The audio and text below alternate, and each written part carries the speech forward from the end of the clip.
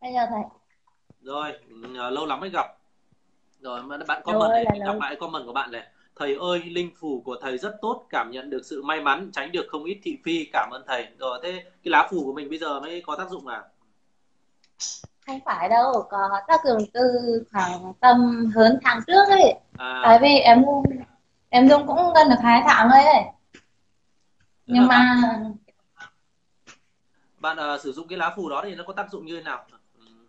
Bạn bạn thấy Nghĩa là từ từ trước tới giờ em vẫn hay mắc phải thị phí ấy. Ừ. nhưng mà đợt này có những việc đáng giá thì mình sẽ dính vào nhưng mà từ mình quyết định lại thì nó nó vượt qua được cái đấy. À. sau mình nghĩ lại là may quá.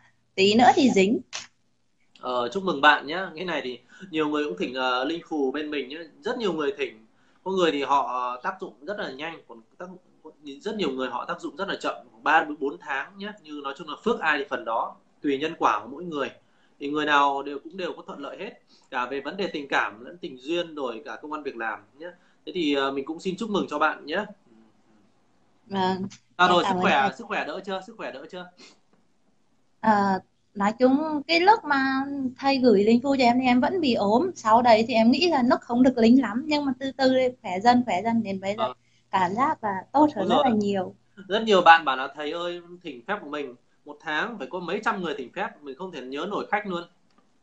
Có khách người thấy mới thỉnh về có vài hôm lo lắng bảo thầy ơi sao là con dùng trả đấy có tác dụng như thế nào con trả lại cho thầy nhé thầy trả lại tiền cho con.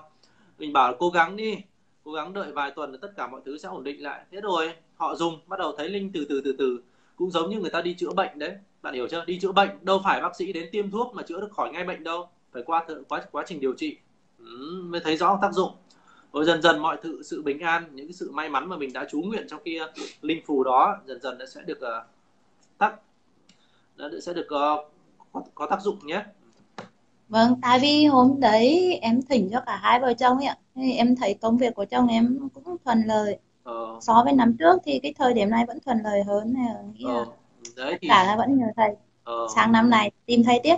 Ờ, rồi thế nhá.